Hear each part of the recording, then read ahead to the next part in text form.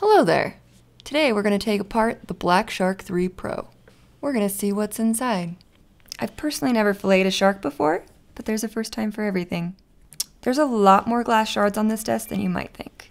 But this is a gaming phone and it has two pop up buttons on the side. Looks like this phone has already been through a lot. Let's hope it survives whatever we're about to do next. Let's get started.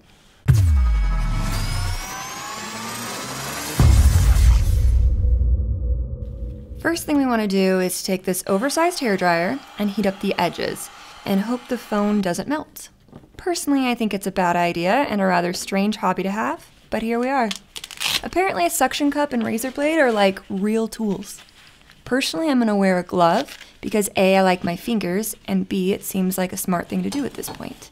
And you'd kind of have to be crazy not to wear one. You might have noticed something's a bit different today, and you are correct. I'm doing everything left handed. The whole goal today is to take the shark apart, put it back together, and hopefully have it still be alive when I'm done.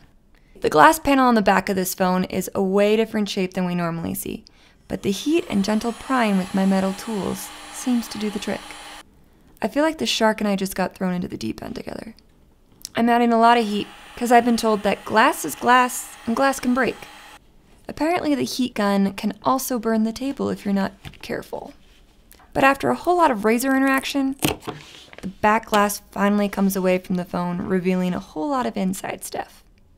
There is one metal plate keeping the back from coming off completely, and at times like these, you might suggest another pair of hands to be helpful.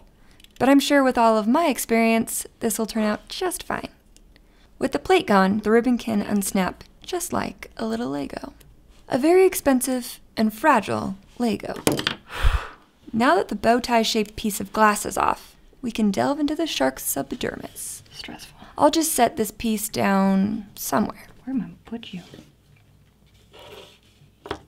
Right off the bat, I can tell this is not a normal phone. The shark's chances of survival have diminished significantly, but the show must go on. There are four screws holding down the metal plate over the oddly shaped and oddly placed motherboard. The whole thing is sitting in the spine of the phone. I'll remove the plate while trying not to break it because that would be rather unfortunate. So this is the battery, right? What? Those long copper things? Well, isn't it like the cooling system for the battery? That's what you cut open and there's liquid in it, right? And there's a big cooling copper system because it's a gaming phone. Is that real? It's real. It's real. Thank you. I've watched a few videos. With the back off, we can see a copper cooling system. Okay. Since this is a gaming phone, it's got a big one. Thumbs up for that. Now we can take out the camera with three more Lego ribbon cords and five more screws. Plus, we get to pull the razor blade out for an extra dose of impending catastrophe. I'm not nervous. You're nervous. Now, the tri cameras are free, and we can see that none of them have OIS, stabilization happening right here, or not, which is disappointing. I was looking forward to that jiggly part. Okay. Let's see what else is interesting about this phone. The top loudspeaker comes out next. Okay. You might be thinking to yourself, hey Jerry, why don't we see any batteries yet? And that's a good question. I have no idea. I do know that there is a piece of black plastic down here that needs to come out. Watch this. One cool trick is if you hold the screwdriver still and just rotate the entire phone the correct direction, the screws come out eventually. Science. There's a little bit of black tape and a small snake connector clamping onto the black bits. And then the bottom loudspeaker can come away from the phone. What is that thing? It also has little balls inside, like we saw in the Galaxy S20 Ultra.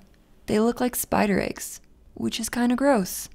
13 more connectors on the motherboard makes this feel like an old school operation game I played as a kid, which means I'm basically an expert. Finally, the motherboard only has three screws left holding it in place. These are essentially screws with a screw hole inside of the screw so that a screw can screw into the screw. Okay.